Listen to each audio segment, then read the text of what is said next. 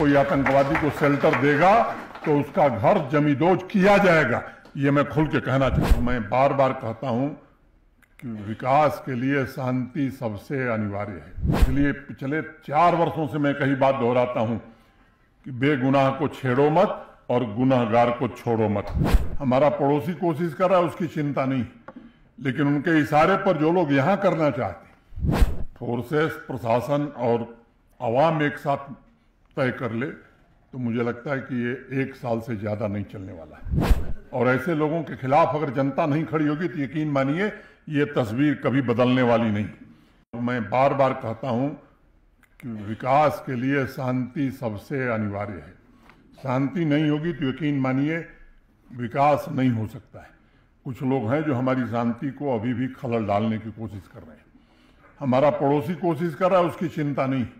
लेकिन उनके इशारे पर जो लोग यहाँ करना चाहते मुझे लगता है कि केवल प्रशासन या फोर्सेस का यह काम नहीं, आवाम का भी काम है कि ऐसे लोगों को पहचाने।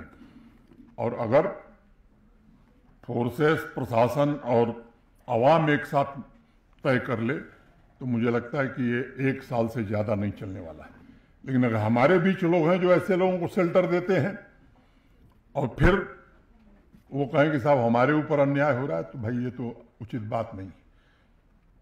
चालीस हज़ार, पचास हज़ार बेकसूर लोगों की जान चली गई। कितनी माताओं ने अपनी मांग का सिंदूर उजाड़ दिया, कितनी बहनों के के भाई चले गए। बावजूद इसके, वो लोग निरपराध, निर्दोष लोगों को जो जो जिला टनल, जो जडमोर टनल बना रहे हैं, जो हमारी कनेक्टिविटी को बेहतर कर रहे हैं ऐसे निरपराध लोगों की जान लेने का हक किसी को है? और ऐसे लोगों के खिलाफ अगर जनता नहीं खड़ी होगी तो यकीन मानिए, ये तस्वीर कभी बदलने वाली नहीं। केवल सिर्फ़ औपचारिकता कर देना, बयान दे देना, ये जो लोग काम करते हैं, मैं समझता हूँ कि ये उनसे भी खराब लोग हैं। और फोर्स का जहाँ तक सवाल है, मैं आपको आश्वस्त करना चाहता हूँ। बार बार एक बात कहिए, किसी निर्दोष आदमी को कुछ भी करने की ज़रूरत नहीं है। और इसलिए पिछले चार वर्षों से मैं कई बात दोहराता हूँ कि बेगुनाह को छेड़ो मत और गुनाहगार को छोड़ो मत। अगर कोई आतंकवादी को शेल्टर देगा तो उसका घर जमींदोज किया जाएगा, ये मैं खुल के कहना चाहता हूँ। इसमें कोई समझौता नहीं हो सकता। जो लोग आवाम, आम आदमी की जान ले लेते हैं, निरपराध आदमी की जान ले लेते हैं, उनके साथ कोई रियायत बरती जाए। और कुछ लोग बयान दे रहे हैं कि साहब बड़ा अत्याचार हो रहा है।